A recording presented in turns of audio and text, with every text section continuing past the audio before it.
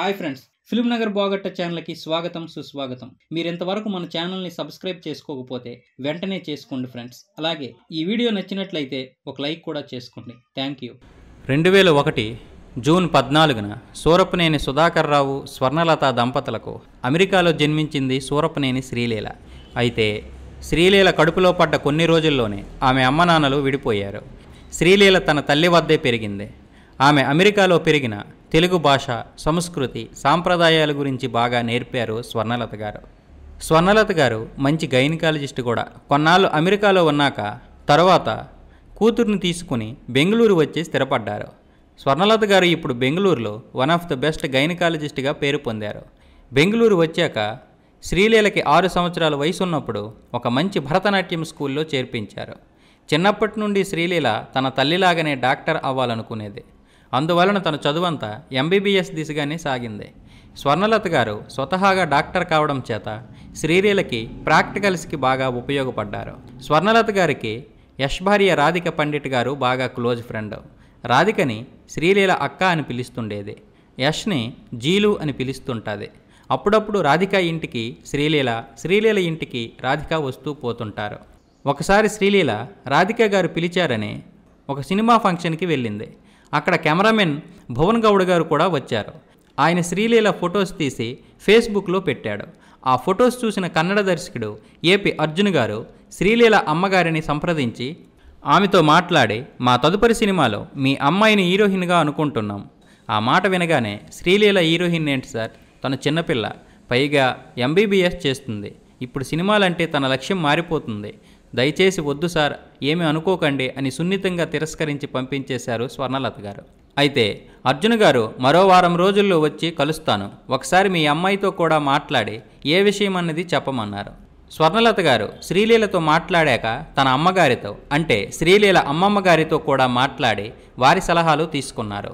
శ్రీలీల కూడా నటించడానికి ఇష్టం చూపించింది.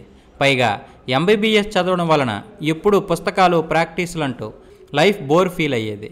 సినిమా షూటింగ్ అయితే కొంచెం డిఫరెంట్గా ఉంటుందని మైండ్కి కూడా రిలీఫ్ వస్తుందని శ్రీలీల ఒప్పుకుంది. ఆ తరువాత స్వర్ణలత గారు రాధికా పండిట్ గారిని కూడా సలహా అడిగారు. ఆమె కూడా చేయమని చెప్పింది.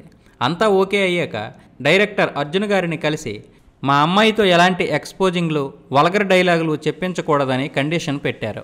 ఏపీ అర్జున్ గారు అందుకు ఒప్పుకొని రెండు వేల పద్దెనిమిదిలో కిస్ అనే సినిమా మొదలుపెట్టాడు.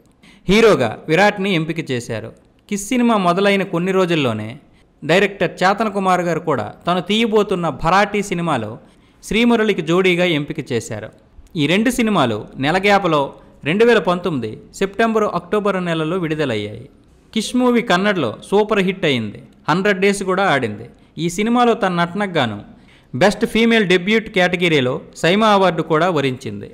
కిస్ మూవీ చూసిన పెళ్ళి సందడి టీం శ్రీలీలని రోషన్కి జోడీగా ఎంపిక చేశారు. అయితే కరోనా వలన పెళ్ళి సందడి వాయిదా పడింది.